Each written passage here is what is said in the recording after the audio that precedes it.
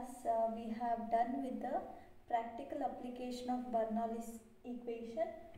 One is uh, venturimeter and the second one is orifice meter. So in today's class uh, we are going to cover the the next uh, practical application of Bernoulli's equation.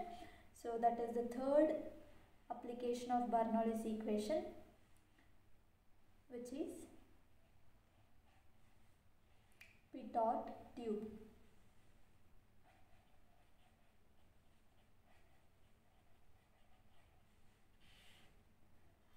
So in today's class uh, we are going to obtain the equation for pitot tube. So here basically what is this pitot tube? So pitot tube is a device which is used to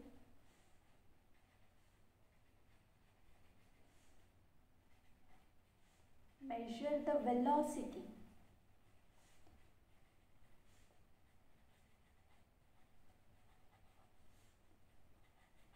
of a flow at any point in a channel or pipe whereas venturimeter and orifice meter are used to determine the rate of flow that is discharge at any point in a channel or pipe. But here so pitot tube is a device which is used to measure the velocity of flow at any point in a pipe or a channel. So here so we'll see how this pitot tube will look like see this is a channel. So where the flow is flow of a fluid is occurring. So for this this is how the pitot tube look like. So what is pitot tube? So it is a device which is used to measure the velocity of flow at any point in a channel or pipe. So this is the figure. So how the pitot tube will look like. So here in this pitot tube the principle which is used is so here the principle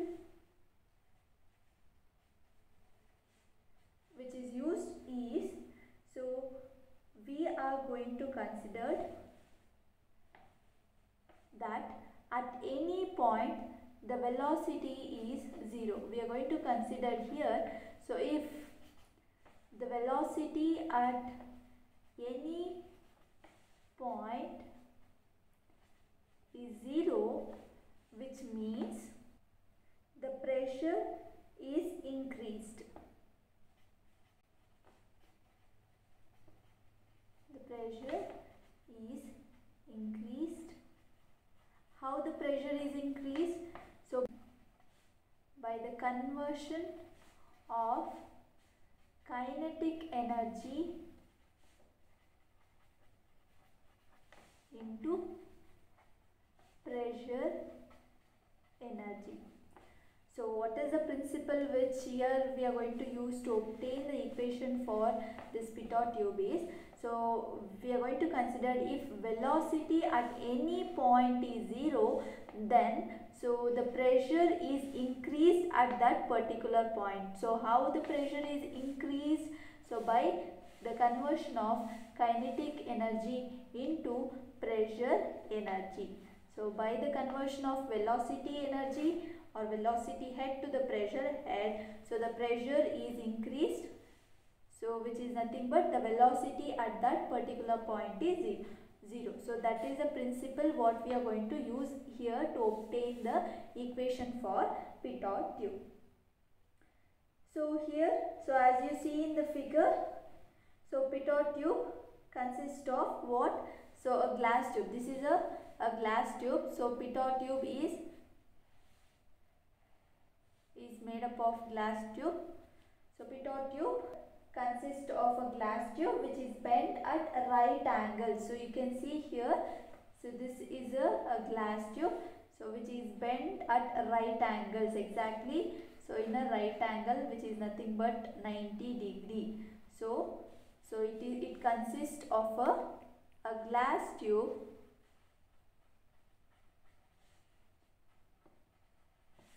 bent at right angles so as you see in the figure. And here so the lower end so which is bent through 90 degree see whatever this lower end so which is bent at 90 degree so is directing towards the upstream. See here which is the upstream? See this is the upstream and this is the downstream so this is the lower end. The lower end of the pitot tube is directed in the upstream direction. So this is the upstream direction. So the this is the lower end and this is the upper end of the pitot tube. So the lower end which is bent at 90 degree so is directed towards the upstream. It is not directed towards downstream. Okay so it is directed towards the upstream here in case of the pitot tube. And here what happens? So what happens once the kinetic energy is converted into pressure energy? So the pressure is going to increase. So what happens? So by the increase of the pressure. So if the pressure increases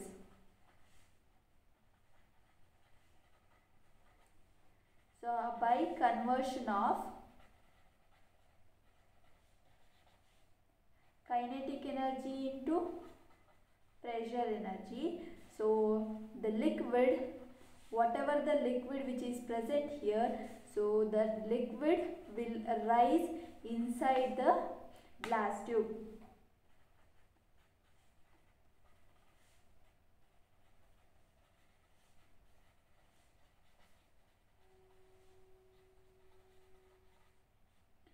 So the principle is the velocity we are going to consider. So is 0 at any point which means the pressure so is in is going to increase at that particular point. So how? By conversion of kinetic energy into pressure energy. So due to this conversion what happens? The liquid so inside this tube whatever the liquid which is present inside this channel so or inside the glass tube will rise inside the glass tube okay? So the liquid which is present in the channel or a pipe is going to increase inside the glass tube by the conversion of kinetic energy into the pressure energy. So here how we are going to determine? So what we have to determine? See it is a device which is used to measure the velocity of flow so we have to determine what is the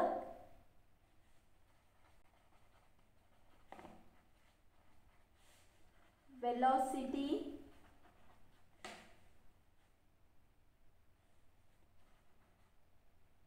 of flow. So we have to obtain what is the equation for the velocity of flow. So for that how we are going to determine that velocity? See whatever the rise of the liquid which is occur inside this glass tube. So we are going to measure this rise of liquid. By measuring that rise of liquid, so we are going to calculate the velocity of the flow. So the velocity of flow is determined by using the rise of liquid. So we are going to calculate the what is the rise of liquid. So you will use that rise of liquid that is denoted as small h to determine the velocity of flow. So here so what we are going to do for that to measure this uh, small h first we are going will consider the two points. So we'll consider the two points. So one point i'll rewrite the figure here so here to determine the velocity of flow what we are going to do? So we are going to consider two points. So one is point 1 and point 2 which are at the same levels as you see in the figure. So point 1 we are going to consider. So far away from the inlet. So this is the inlet. So point 2 we are going to consider exactly at the inlet of the tube. So next after considering point 1 and point 2 what we have to do? So we have to apply the Bernoulli's equation so the next step is we have to apply Bernoulli's equation. For that, so we'll consider P1 and P2 are the pressures at points 1 and 2. So similarly, we'll consider V1 and V2 are the velocities at point 1 and 2 and as you see in the figure so small h so what is that small h? Small h is the rise of liquid in the glass tube and uh, capital H so capital H is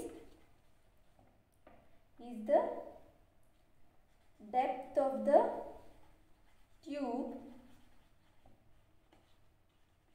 inside the liquid.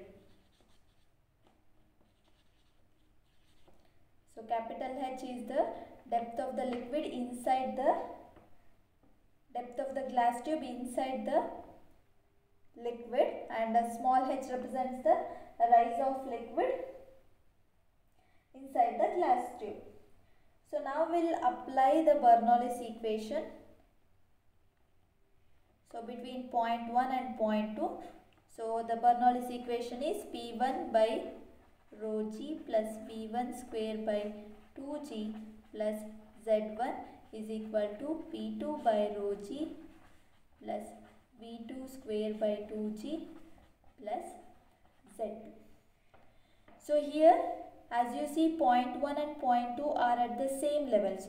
So datum heads will be same. So Z1 will be equal to Z2 because so point 1 and point 2 are at the same levels. So if you substitute this you will get equation P1 by rho g plus V1 squared by 2g is equal to P2 divided by rho g plus V2 squared by 2g and here see so v1 and v2 we have. See v2 is the velocity at point 2 see which is at the inlet what we have considered so the principle is what the principle is we are going to consider the velocity at point is 0 so that so which means the pressure is going to increase at that particular point. If the pressure increases, what happens? The kinetic energy is converted into pressure energy. So here at point 2 that is velocity at point 2 is 0 because so point 2 what we have considered we have considered exactly at the inlet of the tube. So here at the inlet so the velocity will be 0. So if the velocity is 0 then what happens? The pressure is going to increase. Okay, so if pressure increases then only the liquid is going to rise inside the glass tube.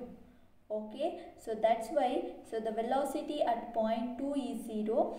So due to if the velocity at point 2 is 0, so which is nothing but the pressure is going to increase at this point 2 or at the inlet. So if pressure increases, so the liquid will rise inside the glass tube. So by the conversion of kinetic energy to pressure energy. So all the whatever the velocity at point 2 is there, V2 is there. So the velocity head or kinetic head, kinetic energy is converted into the pressure energy. So due to that pressure head or pressure energy, the water is going to rise inside this glass tube.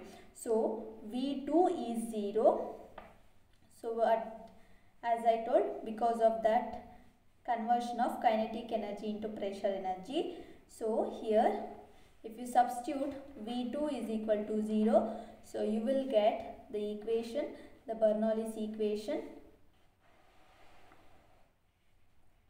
so P1 by rho g plus V1 square by 2g is equal to P2 divided by rho g. So now what is this P1 by rho g and P2 by rho g? See P1 by rho g is the pressure head at which is the pressure head at point 1 okay so what we can represent that pressure at section 1 see section 1.1 the pressure head is denoted with a capital H. So P1 by rho g is so capital H so this is according to the hydrostatic law you can so see the hydrostatic law that is so what is the hydrostatic law P is equal to W into H so W is what rho into G so P by rho G is what now? Is H. Okay, so we have applied the same principle. The head at point 1 is capital H. So P1 by rho G is capital H. So you substitute that here. So P1 by rho G is capital H plus V1 square divided by 2G. So similarly what is P2 by rho G? See P2 by rho G is H plus H capital H plus small h. So why? See once it the fluid enters point 2 the velocity will become 0. So due to that the pressure is going to increase. So if the pressure increases if the pressure increases then the rise of liquid inside the glass tube will take place. So so the P2 by rho g is equal to H plus H. Okay. So here, so capital H will get cancelled. So you will get equation V1 square by 2g is equal to small h. So V1 square is equal to what? V1 square is equal to 2gh and V1 is equal to square root of 2GH.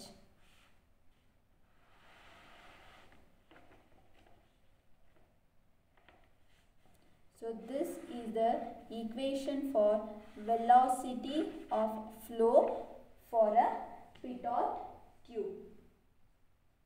So which is nothing but the theoretical velocity. So theoretical velocity is, so V is equal to square root of 2gh. This V1 is the theoretical velocity. So whereas actual velocity is